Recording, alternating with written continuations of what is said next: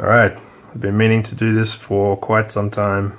Um, weirdly, it's taken me this long, but I'm going to make a video about this little guy here. Um, oddly enough, perhaps not my favorite of the Elektrons, even though it sounds really good. I think I've talked about that before. Um, I think Elektron does really interesting digital stuff. Uh, their, their analog stuff is cool. Um, I definitely like it, but it's a very specific sound, I think, like maybe even like sterile, but like that's kind of what I like about it. Um, you can get grungy with it, of course, but um, just yeah, sometimes I just think it's uh, it needs needs some boosting after the fact. Um, but anyway, let's get into it. Um, I've got a completely blank kit here. I'm just gonna, as I usually do, just go with it and see what happens. Um, each track uh, defaults to just basic saw wave. Just gonna turn this up a bit. So, interestingly, uh, they've decided to make the, the default initialized sound, the filtering, as you can see, is uh, and the resonance on both filters is not at fully open. So I'm just going to go down a few octaves. Let's just put in a trig and uh, let's make it quite long. I guess 16 to, uh, 16 to start with. Let's go into the oscillator and let's drive the volume on the first oscillator a bit. And let's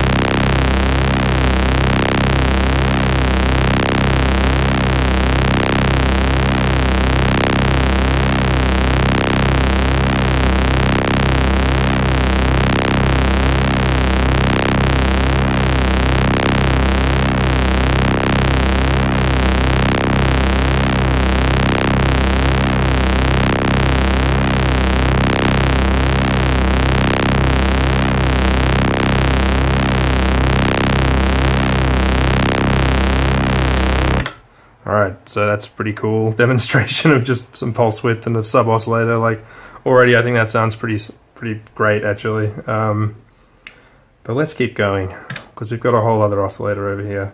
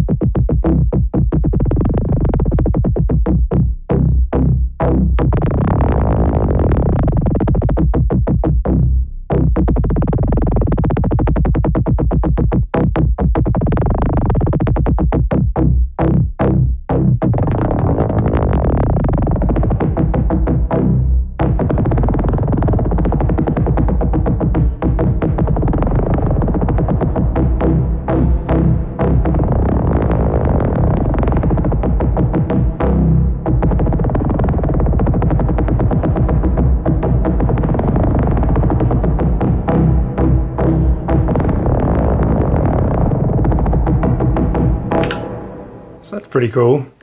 um, I wonder what would happen though if I added an arpeggio to this.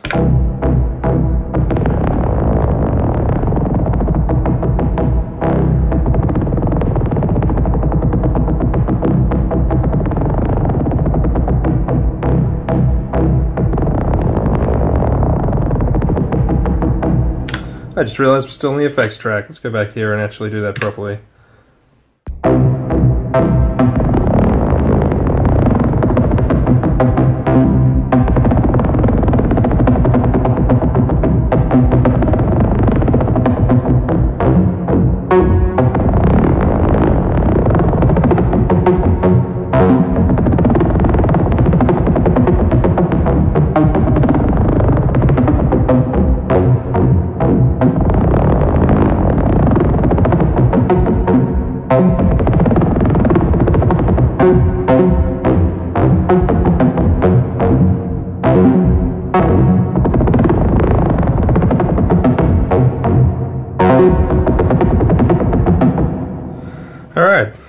That's pretty cool.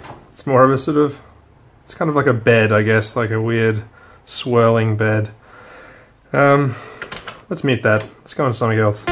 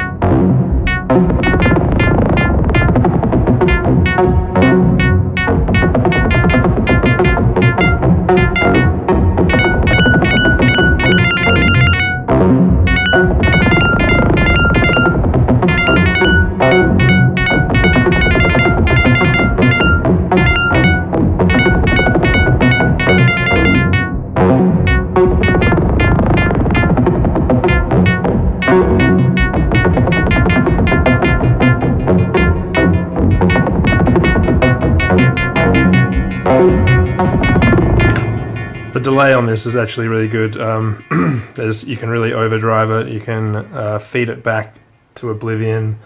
Um, you've also got it. You can feed it into the reverb, and the reverb is so lush um, that this really helps um, fatten up the uh, the delay. Gives it some real space. Um, but yeah, like if I just play this.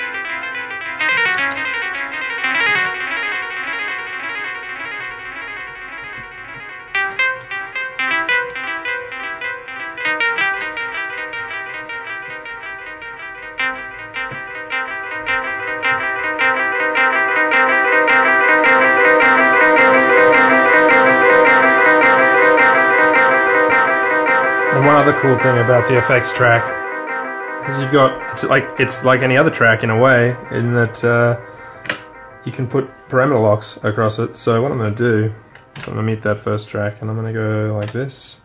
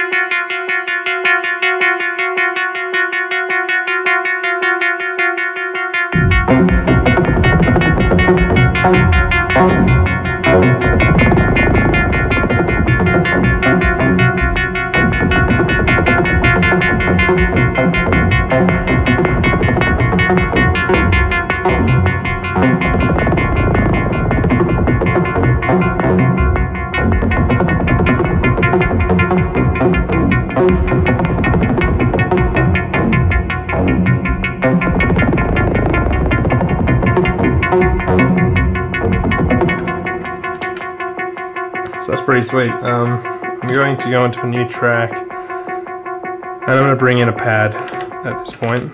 Um, this machine is actually pretty great for pads, uh, which I don't always think about it. I don't always go to it first thinking, oh, I'm going to make some pads on this, but whenever I do, I find that it works out quite well. So I've only got two notes left of polyphony, so I'm not going to do I'm not going to do like a poly, uh, poly track or anything because I'll lose this fourth track and I sort of feel like I want to use it. Um, so I'm going to sort of fake polyphony in a similar way that the Monomachine does it. Um, it doesn't have ensemble machines like the Monomachine, but you can pitch thing pitch the oscillators in interesting ways. So let's just let's find the root note.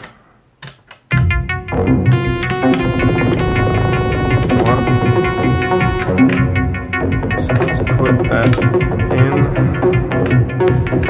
make it long.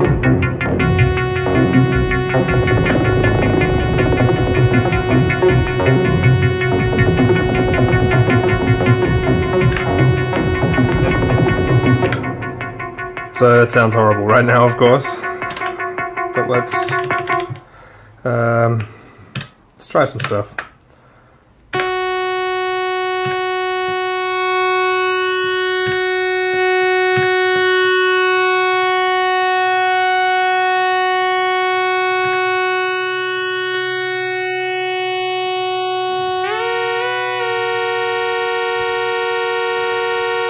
Fact, I'm going to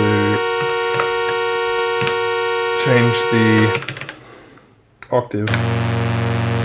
That's better.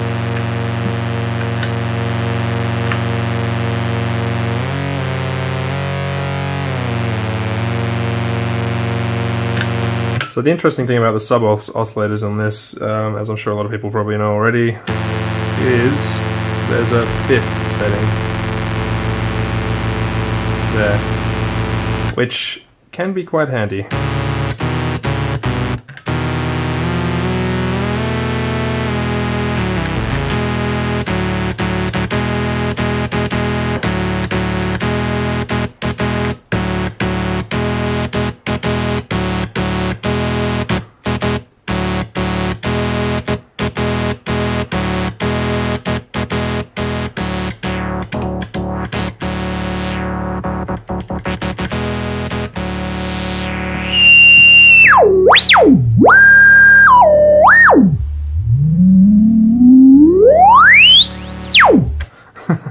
Why not self-oscillate the filter? Why the fuck not? May as well show you what it sounds like.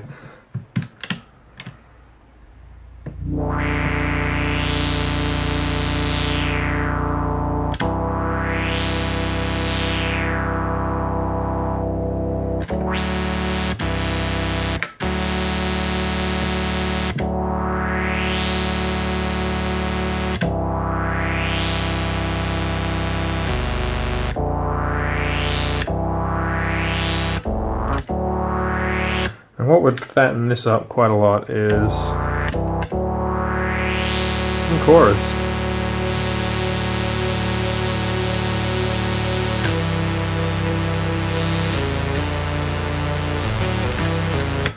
And with the chorus, um, it, I think I feel like it always sounds pretty great. I usually a lot on bass lines, oddly enough, um, but it's also good. But I find I don't tweak the settings that much. Um, but let's give it some extra feedback and depth. You can also send this one a little bit to the reverb and the delay, so just you know as it should be really.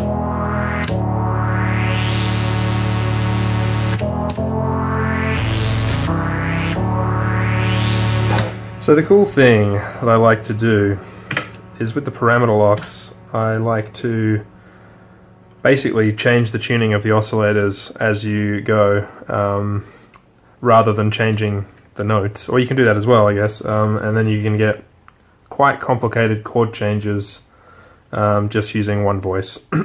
so let me bring this back in as a sort of guide.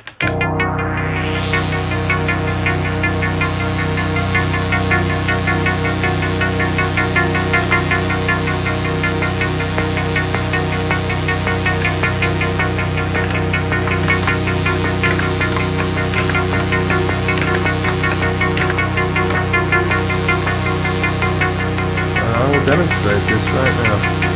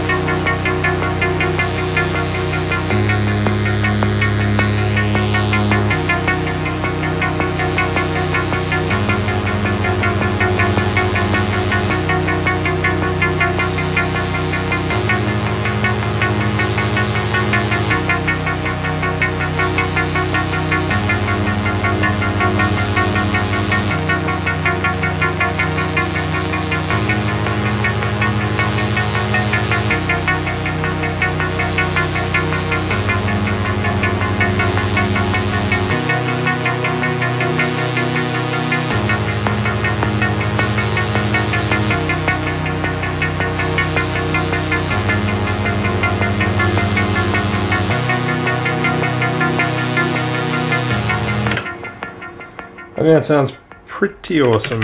Um, doesn't quite go with this bizarre sound I made at the beginning.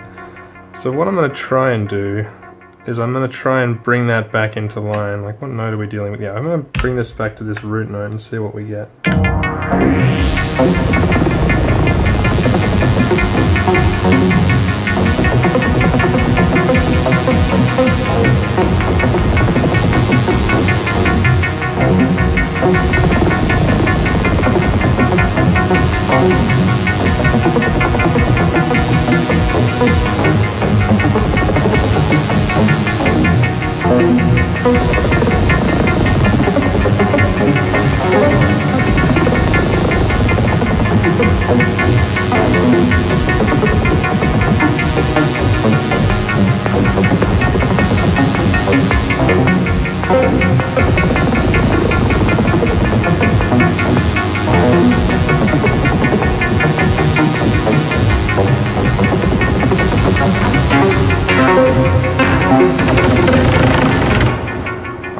Why this sounds weird. it's all the arpeggiator, because it's got this sixth note on it. Let's turn that off and see what happens.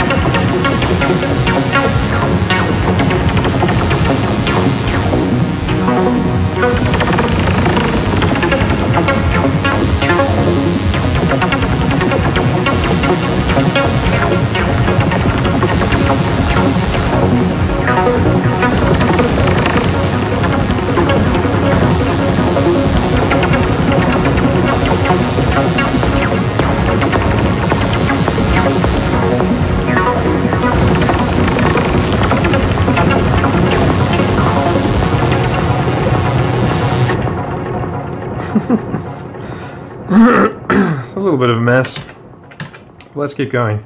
Let's keep that sound out for the moment.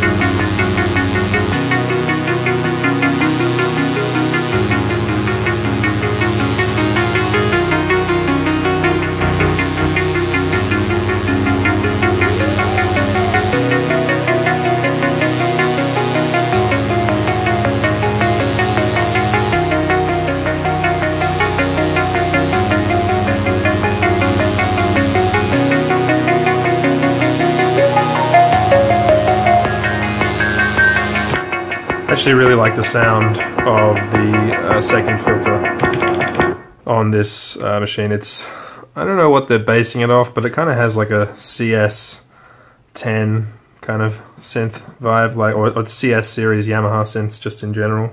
It's got that sort of squelchy like.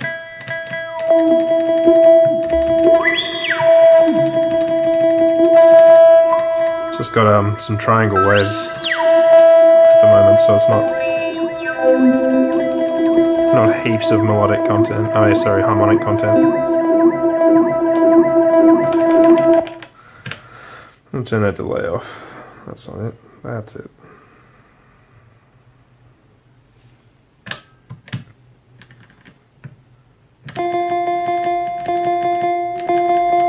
If I go to the low pass filter,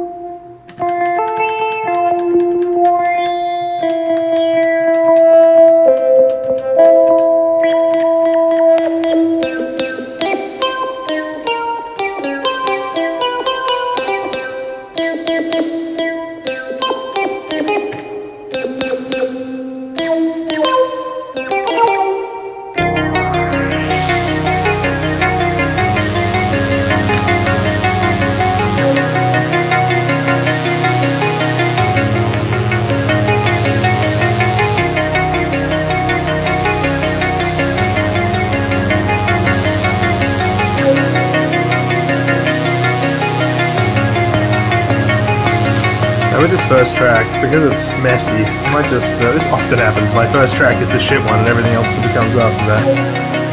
But what I might do is just, as an experiment, is just turn the arpeggiator off on that track.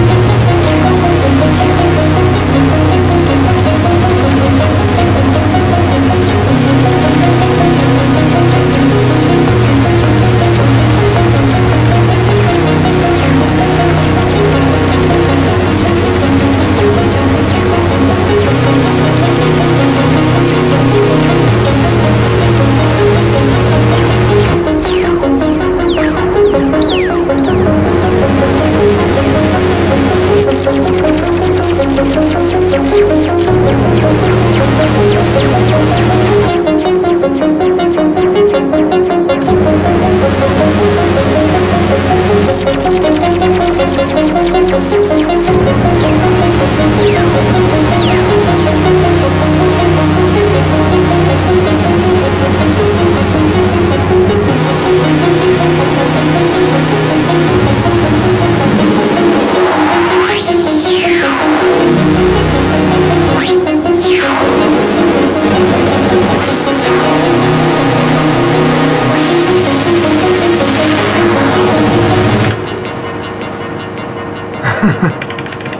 Getting a bit carried away there.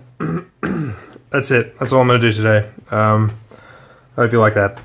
Uh, maybe I'll do another one, a follow up, because I haven't even touched the performance mode. Massively powerful. Um, so, yeah, I hope you like that. I'll do another one on these, uh, this machine again, because uh, there's more to explore. So, thank you, subscribe, all that shit.